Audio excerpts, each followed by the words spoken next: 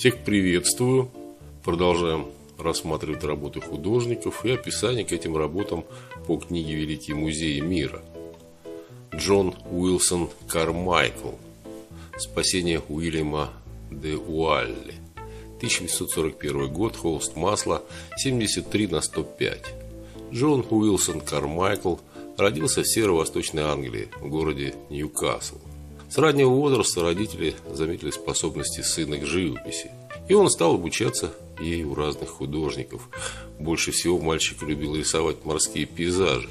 И вскоре добился в этом значительных успехов. В 38 лет Кармайкл стал известным по всей стране. Он участвовал в конкурсе картин, который проводило Королевское общество британских художников. И несколько его полотен были выкуплены Королевской академией искусств мастер создал множество произведений на морскую тему.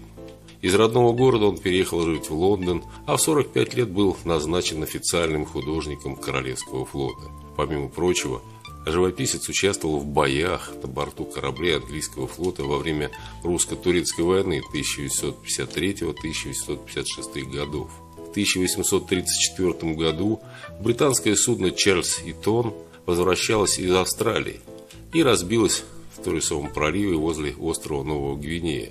Поначалу считалось, что весь экипаж погиб, но спустя два года стало известно, что с корабля сумели спастись юный сын капитана Уильям де Уалли и юнга Джон Эйрленд.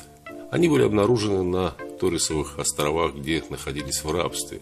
Из Лондона на помощь молодым англичанам тут же отправилась экспедиция. Кармайкл никогда не был в Торисовом проливе ни на острове Новой Гвинеи, но тем не менее написал картину, которая на многие годы во Франции стала символом триумфа в бедственной ситуации. Спасение Уильяма де Уалли представляет собой тропический пейзаж золотистого цвета, центральная часть которого занимает две плывущие одна за другой шлюпки, переполненные воинственными людьми. Они направляются в сторону берега, в то время как два парусника, откуда, очевидно, и спустили их, застыли на зеркальной глади спокойного моря. Туманно-розовое голубое небо, мерцающая золотисто-зеленая вода, экзотическая растительность и горы, а также сам сюжет холста очаровали британскую общественность XIX века.